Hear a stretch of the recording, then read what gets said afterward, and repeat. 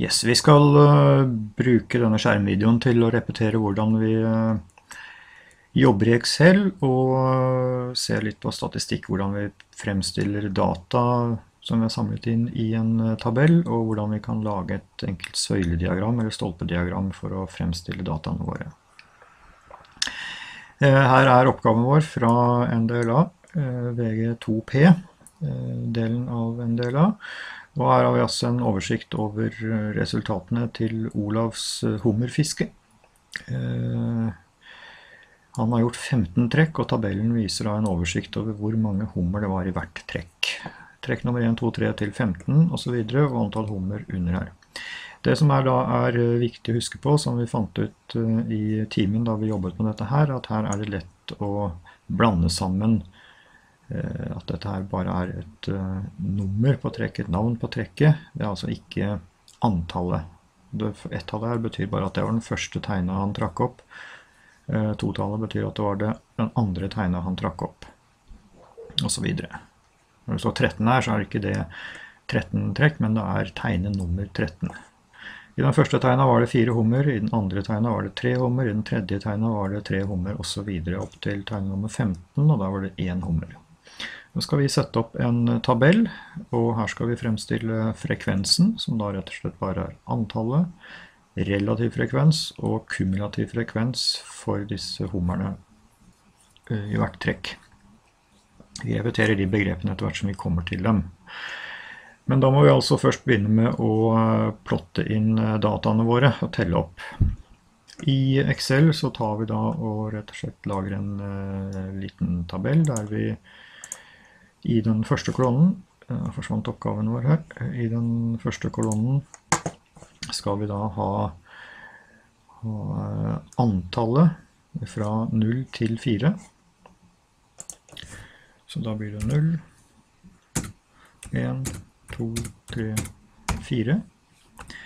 Det er da antall hummer nedover her, og i eh, kolonne B skal vi sette opp hvor mange av trekkene var det som hadde 1, 0, hummer, hvor mange hadde én hummer, osv. Og da ser, teller vi opp her. Eh, null hummer var det i trekk nummer 7 og trekk nummer 11, det vil si to stykker. Én uh, hummer hadde vi i uh, Nå roter jeg fælt med klikking her. Én hummer hadde vi i den. Én, to, tre, fire, fem stykker. Så har vi to hummer. Det har vi da der. Én, to, tre, fire trekk som hadde to hummer hver. Så har vi eh, tre hummer. Det hadde vi én, to, tre stykker av den. Og fire hummer har vi da i én. Det var den eneste. Bare ett trekk hvor han hadde fire hummer.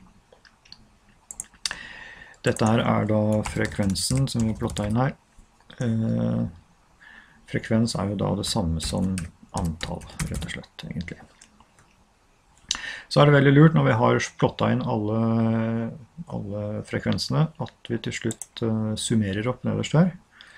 Sånn at vi har oversikt over det, og totalsummen skal vi bruke i uh, beregningene våre etterpå. Da er det veldig greit å gå opp hit, trykke på autosummer, og da gjetter Excel at vi skal legge sammen tallene i, de cellene som står over, og det er det vi skal gjøre. Trykke på Enter, og så får vi den her, og totalsummen er da 15. Så skal vi regne ut den eh, relative frekvensen eh, på disse her hummerne her, eh, og da gjør vi det i neste kolonne. Relativ frekvens er jo da, skal vi se, skal den her, relativ frekvens skal det stå der. Husk på det at eh, relativ, det er eh, andel i forhold til totalantallet. Så jeg klarer å skrive riktig norsk også. Totalantallet skal det være. Eh, så det vi da må gjøre, er å si at uh, eh, den relative frekvensen til eh, de trekkene som har fått eh, bare som hadde ingen hummer, altså null her borte. Det ville være antall trekk som hadde det resultatet, det i forhold til, altså dele på totalantallet. Så når vi skal få Excel til å regne til ved hjelp av en formel, så blir det er lik, og så klikker vi på denne cellen der, dele på, og totalen, og enter. 0,13. Og så er det samme med den. Relativ frekvens for de uh, trekkene som hadde én hummer, det var fem stykker av dem. Det blir jo da fem Dele på totalen. Enter, så får vi den. Så den relative frekvensen for de trekkene som hadde to hummer, det var uh, fire stykker av dem. Altså den cellen der deler på totalen. På neste så har vi da tilsvarende. Vi har eh, tre som er antallet der, deler på totalen, og så har vi på den siste Unnskyld, det ble feil. En. Siste er uh, da den cellen der. Der var det bare en av dem. Deler på og totalen. Så uh, vil vi gjerne ha dette som uh, prosent og ikke som desimaltall. Så da bare merker vi hele kolonnen, og så går vi opp hit og trykker på prosenttegnene, og da gjør den om til prosent for oss med en gang. Og så som en uh, kontroll så kan vi summere disse relative frekvensene. Til sammen skal jo det bli 100% hvis vi har gjort det riktig. Autosummer.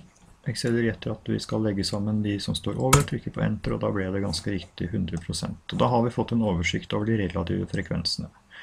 Det vil altså si at eh, de, det antallet trekk som ga ingen hummer, de utgjør 13% av alle trekkene våre. Eh, det antallet trekk som ga tre hummer, de utgjør 20% av alle trekkene. Så skal vi regne ut den, eh, eller få en oversikt over den kumulative frekvensen for antall hummere. Og da var det med å huske begrepene kumulativ, det kan vi på en måte si at det betyr det samme som oppsummering av uh, tallene. Altså, uh, og det vi sier da er at Skal vi gjøre plass her. Kumulativ frekvens. Den kumulative frekvensen av for eksempel de eh, trekkene som ga én hummer bare. Det vil si, det er da sammenlagt oppsummert alle trekkene som ga fem, nei, som ga én, og mindre. Så det vil være eh, fem som ga én hummer, og to som ga ingen hummer. Så den kum kumulative frekvensen vil da være oppsummert to pluss fem. Mens f.eks. den kumulative frekvensen til 3 vil da være antall uh, trekk som ga tre hummer, pluss antall trekk som ga to hummer, pluss antall trekk som ga én hummer, pluss antall trekk som ga null hummer. Altså oppsummering av alt som er mindre enn opp til dit vi skal. Uh, få dette her inn i Excel. Uh, den kumulative frekvensen til 0 er jo bare 2, for det er den minste, så da kan vi bare skrive inn 2. Så skal vi ta den kumulative frekvensen til 1. Det vil jo da si den som gikk foran, pluss, som er 2, pluss uh, eh, 5, som er antallet som ga 1 hummer. Og måten å fortelle Excel på at det er det vi skal gjøre, det er å skrive en formel. Og i den formen skal vi legge sammen den som gikk foran, pluss frekvensen av 1. Sånn. Da er det den kumulative frekvensen til 1, eh, altså alle trekkene som ga, ga 1 hummer, pluss alle trekkene som ga 0 hummer. Så har vi tilsvarende kumulativ frekvens for to, altså de trekkene som ga to hummer, er jo da summen av eh, antallet som har gitt to hummer, pluss summen av antallet som har gitt ett hummer, pluss summen av antallet som har gitt null hummer, altså det vi hadde i den kolonnen her, pluss de som har gitt to. Så da må vi fortelle Excel at den skal da legge sammen den der, pluss antallet som er gitt 2. Sånn.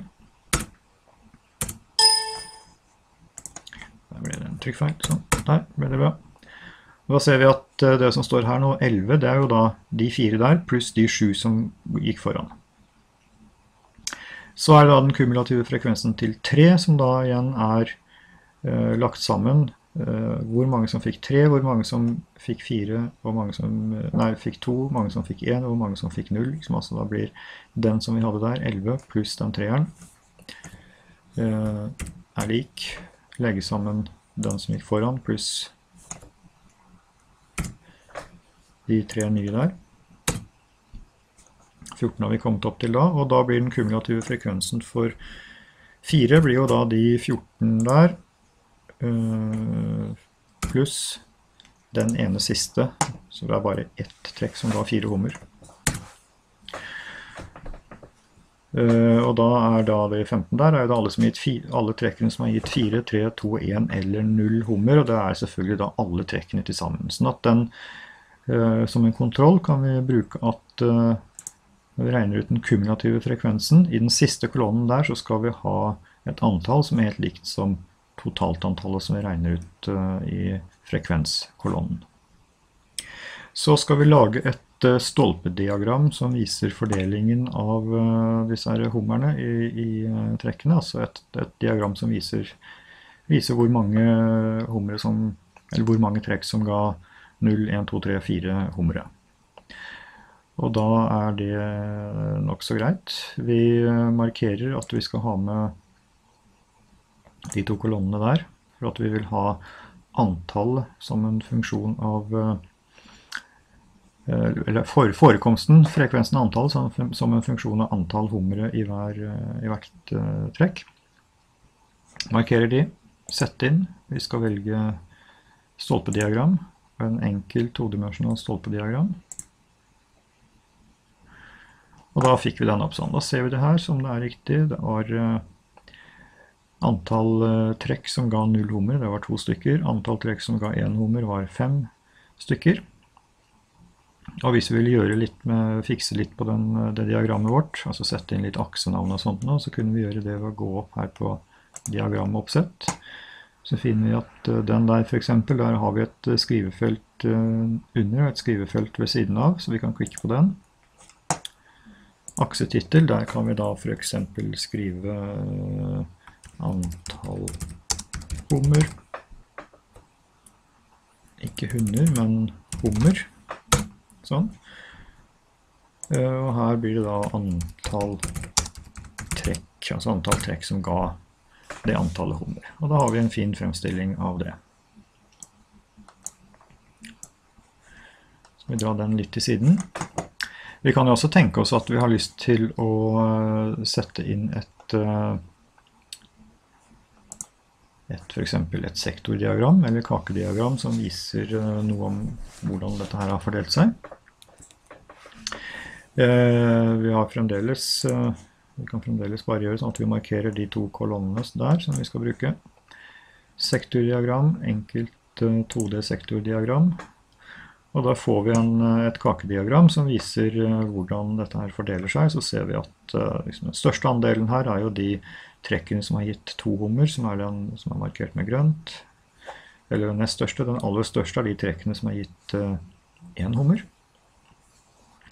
Med et veldig sånn visuelt uh, inntrykk av det. Og her også kan vi da gå opp på sektor uh, på diagramoppsettet og f.eks. klikke på den her hvor vi har noen prosenttegn. Og da får vi, et, uh, får vi både tall og prosent. Så da er det både lett å se veldig fort at her har vi den største andelen, men også at det utgjør da 33% av totalen vår.